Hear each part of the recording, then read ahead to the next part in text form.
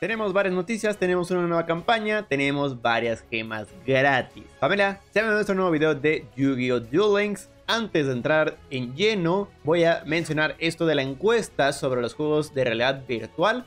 Es una pequeñísima encuesta, la cual nos va a dar 20 gemitas, así que pueden contestarla. Básicamente nos van a estar preguntando si ya tienen forma de jugar juegos de realidad virtual o si tienen pensado comprar juegos de realidad virtual. Esto más que nada le sirve a Konami para saber qué tanto el mercado ya le puede vender este nuevo producto. Básicamente es el mismo videito que nos mostró en el Tokyo Dome en febrero. Nada sorpresivo. Por, eso es que les mencioné a todo el mundo cuando me dijeron sobre esto del Solid Vision, que sí qué tal estaba y les dije que pues parecía más bien un video más que nada, no era tanto un juego. Y sí, efectivamente, ya ahora pueden ver el video por separado y sí, es un video simplemente. Pero bueno, 20 gemitas, se agradecen mucho. Luego también tenemos el anuncio del nuevo duelista legendario, el cual va a estar llegando el día 23 hasta el día 4 de noviembre. Creo que el error que corrigieron fue la fecha de inicio, no me acuerdo si decía 22 o 24. Supondré yo que decía 22 y que no habían tomado en cuenta las horas del mantenimiento. Entonces sí, en teoría empieza el día 23 por la madrugada.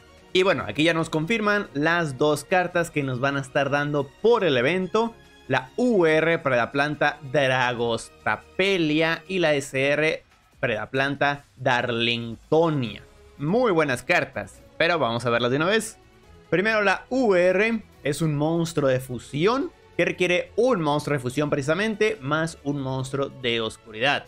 Una vez por turno, efecto rápido, puedes seleccionar un monstruo boca arriba de control de tu adversario, pon un contador de Predaplanta en él y si es nivel 2 o mayor se convierte en nivel 1, bla bla ni a los efectos de los monstruos de tu adversario que tengan contadores predaplantas. Uf, un muy buen negador y que puede estar poniendo con efectos rápidos contadores para poder negar nuevos monstruos en todo caso. Así que no está nada mal, nada más es un poquito más difícil de hacer, ya que necesitas ya un monstruo de fusión desde antes para luego poder hacer a este güey. Entonces ligeramente costoso, pero muy muy bueno.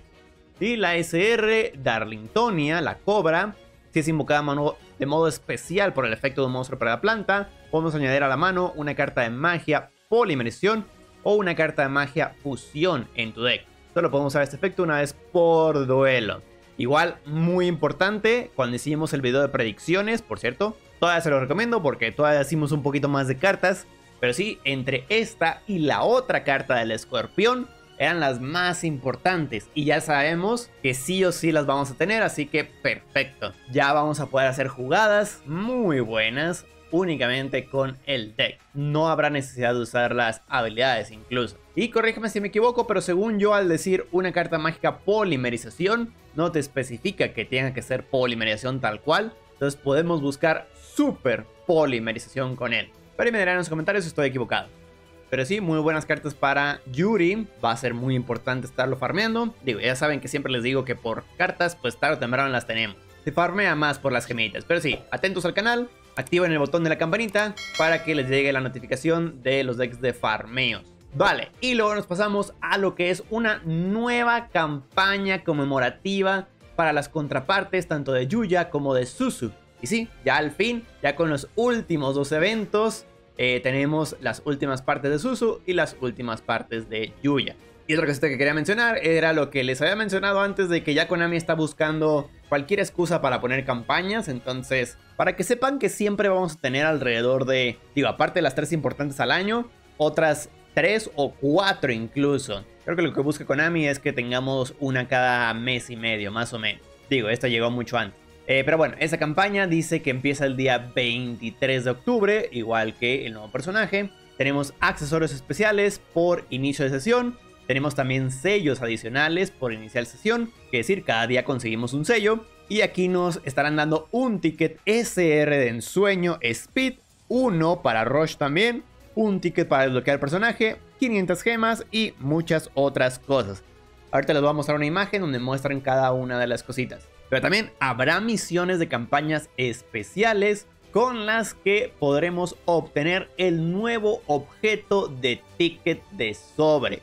Justamente vimos en las filtraciones que iba a salir este nuevo objeto de ticket de sobre. Pensábamos que iba a tardar un poquito más, pero no. Ya luego, luego va a salir, ya luego, luego sabremos qué onda con este ticket. Y bueno, eh, dice que te permite abrir sobres de las cajas especificadas, no es para cualquier caja. Que era lo que teníamos esperanza, de que fuera de que, ah, sí, es como un ticket de ensueño, pero para 10 sobres, no sé, de cualquier caja que tú elijas, de una caja en adelante. O bueno, más bien para atrás. Y digo, aún puede ser, ¿eh? Pero por cómo lo están escribiendo, presiento más que va a ser en forma de la campaña. De hecho, precisamente me recordó mucho a la campaña de 5DS Exal. Que por cierto, ya se van a caducar esos tickets. Así que si aún no los han usado, chéquenselos en su arcón. Porque nada más quedan alrededor de 5 días. Eh, pero sí, me recordó mucho a eso. En donde teníamos tickets de ensueño. Entre comillas de ensueño URs. Para poder agarrar solamente los monstruos insignias de los respectivos mundos. Entonces, creo que va a ser lo mismito, pero simplemente para que la gente ya no se equivoque, como que, ah, es que es un ticket de ensueño, pero no más me deja agarrar los monstruos insignia. ¿Por qué solo me aparecen 6 cartas, Konami? Eso no es un ticket de ensueño. Ah, bueno, ahora ya es un ticket de sobre entonces. Pero sí, me imagino que únicamente nos van a dar posibilidad de las cajas que sean, que incluyan las cartas tanto de Yuya como de Susu. Bueno, de sus contrapartes más bien. Entonces ya con eso, para los que quieran armar plantas, por ejemplo, van a tener 10 sobres gratis. Bueno, me imagino. Si no es que van a ser más sobres, tal vez. Eh, pero sí, sobres para cierta caja. Pero también con esa teoría me da la sensación de que tal vez no tengamos una pickup box. Tal vez no tengamos algo que reimprima las cartas viejas. Pero Gillo, de todas maneras, como siempre les recomiendo, espérense hasta que ya salga. De todas maneras, ya para el día 23, después del mantenimiento del día 22, ya sabríamos qué onda. Si sí va a haber pickup box, si va a haber reimpresiones, va a haber qué onda. Hasta ese momento, espérense y ya luego deciden si invertirle a las cajas viejas para los Predaplan. Ya lo habíamos mencionado desde que salió la noticia de Yuri. Pero sí, ¿qué más? Dice que las misiones exclusivas de campaña estarán disponibles a partir del día 23 y a partir de que salga y bueno, creo que ya nada más me queda mostrarles la imagen oficial de Konami. Aquí ya nos muestran eh, los accesorios precisamente. No sé si son dos accesorios separados, pero sí, supongo que sí, porque dice I. Entonces sí, parece que es un tablero donde vienen todos los Yuyas y un tablero donde vienen todas las Susus. También están los tickets que nos habían mencionado, las 500 gemas y también 100 fichas de caja. Esto es algo que no nos habían mencionado.